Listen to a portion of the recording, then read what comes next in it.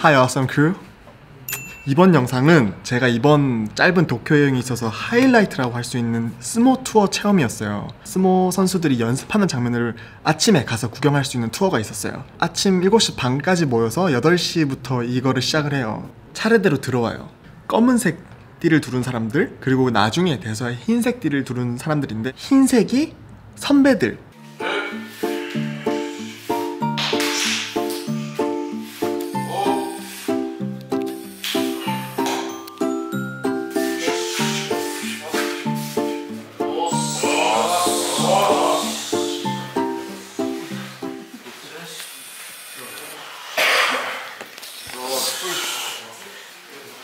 그분들 말고도 상석에 한 명이 앉아 있어요. 상석에. 그분은 이 회관의 전체 관장님.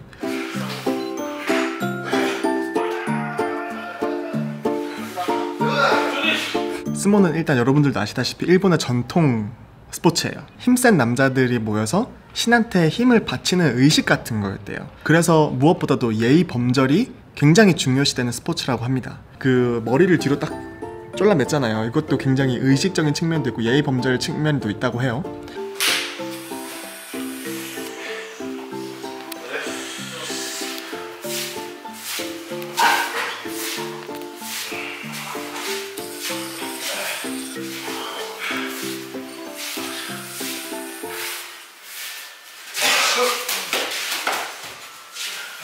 크게 두 가지만 아시면 돼요. 시키리 그리고 다치아이. 시키리는 시작하기 전까지의 준비 단계예요.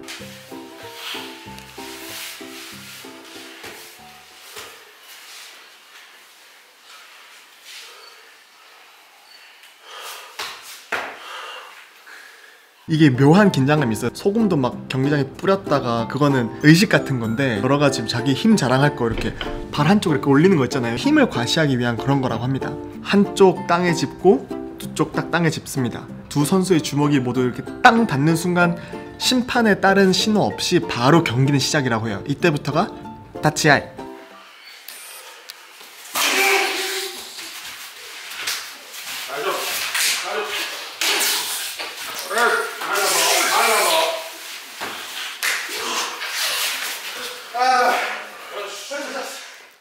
주먹으로 때리는 건 안 되지만 손바닥으로는 다 가능하다고 해요. 그래서 경기를 보면 막 뺨 치고 막 발바닥 이외의 신체 부위가 땅에 닿으면 경기는 끝. 그 원 바깥으로 밀든지. 저는 개인적으로 이렇게 좀 비교적 왜소한 분이 있었는데 그분을 계속 응원하게 되더라고요. 골리앗과 다윈 느낌인데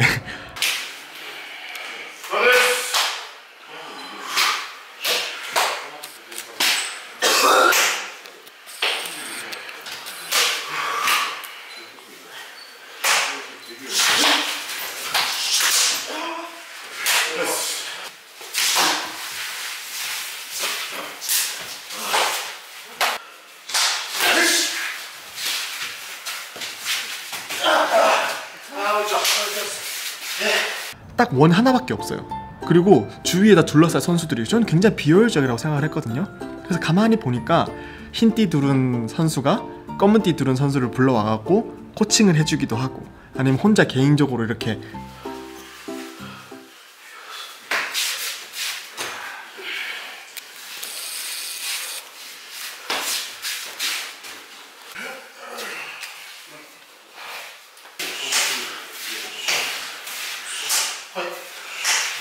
중간중간에 뭐 이런 게 있어요. 이게 뭐냐면 뭔가 얘가 지금 약간 스, 스파르타식으로 더 키워야겠다 이럴 때는 선배가 또는 동료가 속된 말로 뺑뺑이라 그러죠. 극한까지 몰아붙이는 거예요.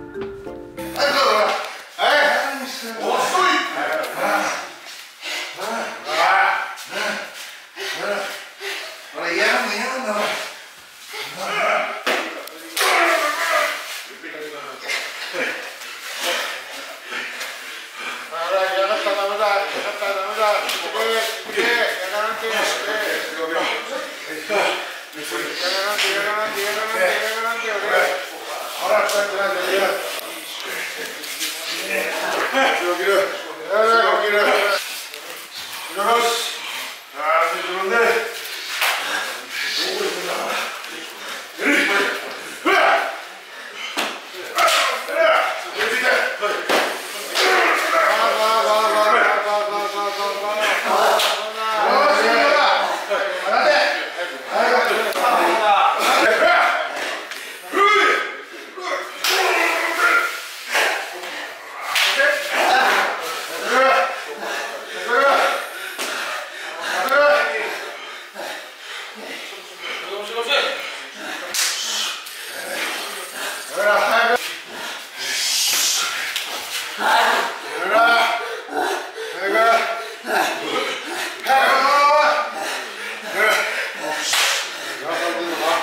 순간적인 스피드와 순간적인 유연성, 유연성도 엄청나더라고요.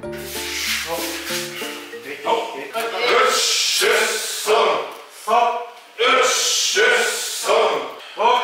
으쌰 선 샤시. 으쌰 선 하시. 으쌰 선 두분들만 아시 텍스타일로 근데 이제 관광객 입장에서도 얘기를 하면 안 돼요. 그리고 선수들에게 크게 방해가 되- 될 행동은 하면 안 된다고 합니다. You gotta respect them. 이런 식으로 설명을 들었어요. 투어가 한 1시간쯤 지났을 때부터 갑자기 맛있는 냄새가 솔솔 나는 거예요. 이게 스모 선수들이 연습이 끝나고 다 같이 밥을 먹는다고 하는데 창코 나베. 나베라는 음식은 아시죠? 창코 나베라는 건데 진짜 큰 그릇에다가 먹는데요. 저는 그 음식을 먹는 것까지는 보지 못했는데 굉장히 많이 드시겠죠. 저렇게 몸을 키우고 연습을 하고 막 그러려면은 그리고 제가 투어를 하면서 어 그러네? 라고 느꼈던 점이 뭐냐면 처음에는 저 입장에서는 팬티만 입고 들어오는 거잖아요. 처음에는 어, 좀 이상했어요. 근데 신기하게 조금만 지나면은 아무렇지도 않아요. 아무렇지도. 그냥 너무 당연한 게 되더라고요.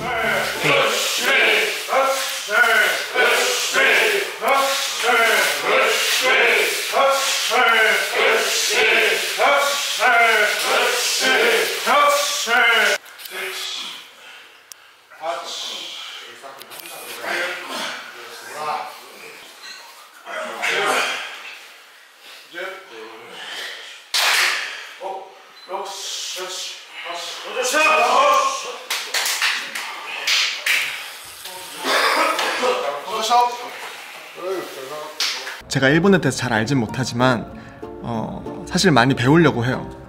저 제 영상을 많이 봐오셨던 분은 알겠지만 그 한국에 대한 자부심이 굉장히 강합니다. 그래서 관광 통역 안내사로도 한국을 알리고 있고 한데 일본이 인정하기 싫어도 이 관광면으로는 정말 잘해놨어요.